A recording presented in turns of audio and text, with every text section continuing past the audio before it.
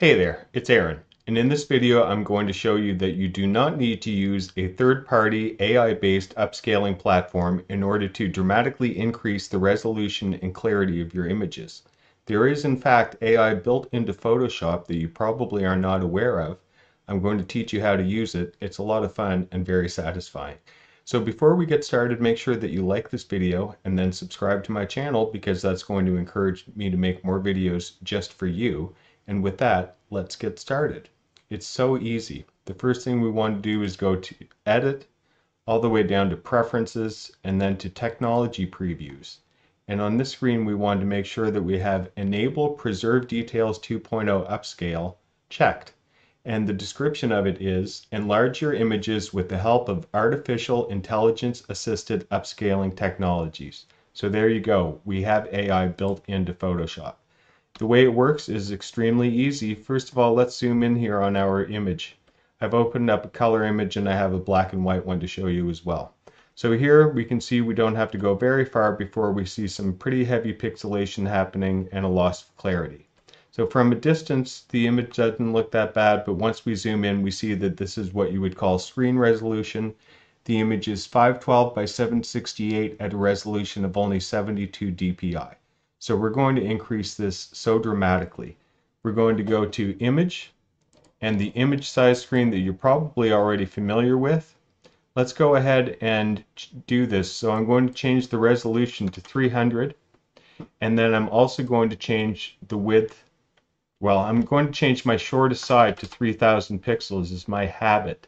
So in this case it was my width and we'll see here that I have the resampling mode set to preserve details 2.0. That's what we need. That's what we just enabled. And now we can go through here and see, let's zoom in, have a nice close look at the iris here. This is the iris we were just looking at over here. So here's before and here is after. Before and after. So let's accept this.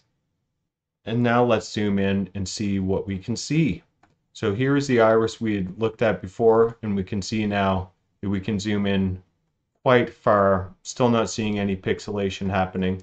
So again, from a distance, it doesn't look like the image has changed here in screen resolution, but if we wanted to print this image now, we could at a very high quality as well. So that is truly incredible, and we've done it without having to resort to using a third-party application that tend to really take away from the identity and overall clarity of the image they tend to add some vectorizing, some flattening of things, sometimes too many highlights appear, and you definitely can lose a lot of detail, especially in skin.